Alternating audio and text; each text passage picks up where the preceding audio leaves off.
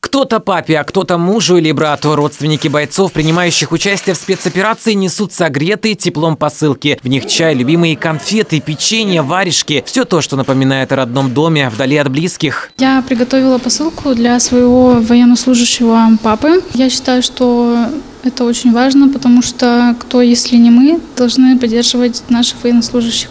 Вот, мы очень сильно гордимся нашим папой, э, что он защищает нашу Россию. Каждая посылка именная, принимается она упакованная в картонную коробку. Вес не более 15 килограммов. С ними, с бойцами ВКонтакте, на связи. Второй этап сбора посылок в рамках акции «Тепло родного дома» закончится 3 февраля, чтобы успеть доставить их адресатам ко Дню защитника Отечества. Дети ложили папам там свои подарки, естественно, рисунки, чай, то, что вот сегодня да, две шоколадочки мой ребеночек маленький положил для папы.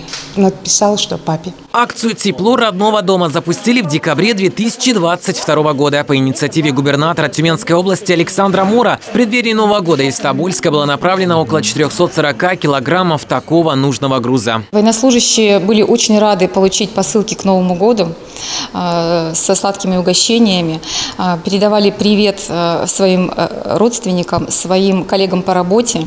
Для них это было очень важно. Э, получить э, частичку дома. Принести посылку можно в Центр социального обслуживания населения Тобольска, а жителям района в сельскую администрацию. Оттуда главы поселений доставят посылки в комплексный Центр соцобслуживания населения. Туда же можно собранную коробку принести самостоятельно. Шамиль Гулиев, Михаил Куричка, Тобольское время.